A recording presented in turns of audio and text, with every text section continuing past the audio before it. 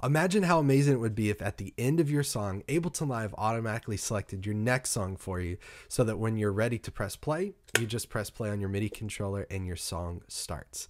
Hey, this is Will Doggett, Ableton Live certified trainer, founder of From Studio to Stage. Today I want to continue part three of our Using the IAC driver with Ableton Live tutorial series and show you how to create a pause and go to next track so that you could pre-program your set so that you can navigate your set song to song using one button. So let's get started.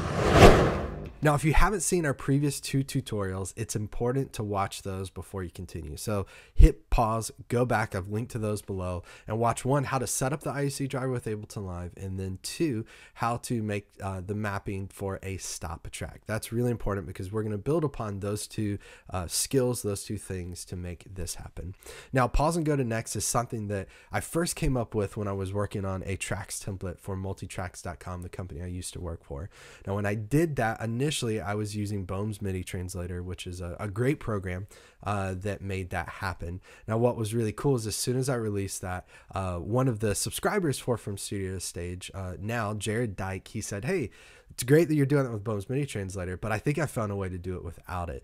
And so I want to show you kind of a, a, a tweaked uh, a version of this um, that really I learned from Jared. So uh, shout out to Jared for coming up with this great tip. So let's talk about how to make this happen. One, we need to create a stop clip and map that stop clip to stop in Ableton Live. Again, check out the tutorial I've linked below on how to make that happen. The second thing I've done is I've uh, essentially made a new MIDI track, routed that to the Driver like we talked about in the, the setting up the IAC driver uh, tutorial. Uh, created a MIDI clip, which again is just selecting space, doing Command Shift M, or if you're in Live 10, double clicking to create your MIDI clip. And then in that MIDI clip, I have a MIDI note, and I need to assign that MIDI note to my next locator. Now, the way I do this is I create a template and I have about 10 locators that are pre-mapped to keys on my computer keyboard and pre-map to buttons on my MIDI controller. So I only have to do this mapping one time. Uh, and then I could just drag clips from uh, the browser in to program my set really quickly.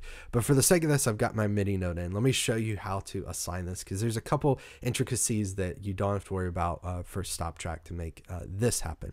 So first thing I'm going to do, I'm going to do, um, I need to assign that MIDI note to song 2 locator. Uh, and before I go into MIDI map mode, I'm going to just solo this track so I make sure that's the only track that's playing.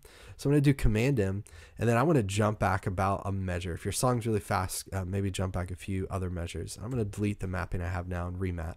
So I'm going to go here, um, just letting this play, and then I'm just going to click this locator. And I could click it anytime before the MIDI note hits. And you see, once that MIDI note hits, it gets assigned to song to locator. Now I'll press Command M and press spacebar to stop it. So now let's unsolo our track here. And now we have our stop track mapped and our go to next track ma uh, mapped. But now we need to do one more step. And this is where uh, Jared's suggestion comes in. So again, shout out to Jared for figuring this out. Uh, so uh, I'm going to go down here and hit D, and that's going to open up track delay. Now I've never used track delay before in Ableton Live except for this trick, and it's a great trick. So track delay selected, I'm going to make sure I hit 50 milliseconds in this box. Um, I've been able to get it down, I think, as low as about 20 milliseconds, but 50 milliseconds seems to consistently work.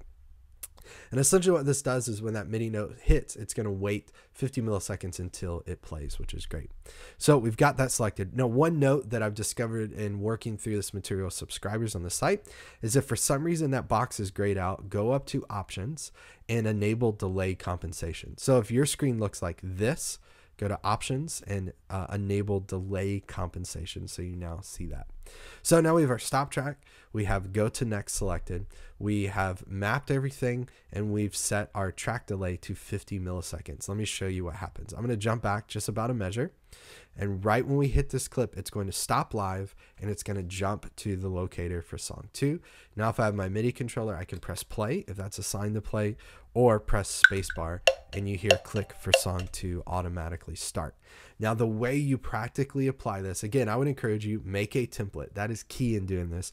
Pre-map all these things and save them so that as you program a five song set, if after song one you want to select song two, you drop in a stop marker, which you've already mapped, and you drop in a clip that's already mapped to locator 2 for song 2 and again you do it one time and it's done. So with this and this is really beneficial especially if you have a drummer running tracks they can press play at the top of the set it's going to play and when they're ready to go in between the next songs they can press play.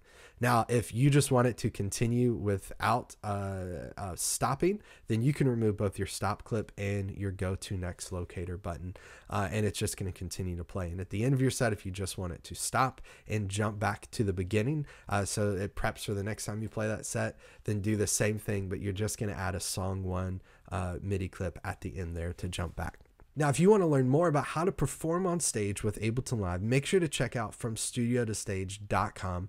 We could start a seven day free trial that will give you access to every single course that we have in the catalog. We had a new course every week. You can check out our using the IAC driver with Ableton Live course. You get access to a private Facebook group, uh, a monthly call just for subscribers, exclusive discounts for subscribers, and so, so much more.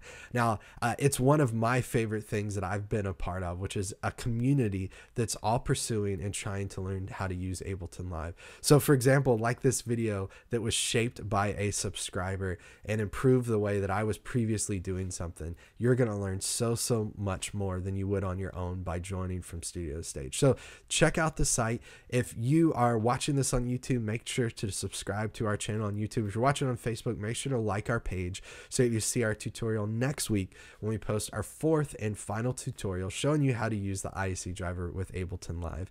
Thanks so much for watching, everyone. Take care. See you next week. Bye bye.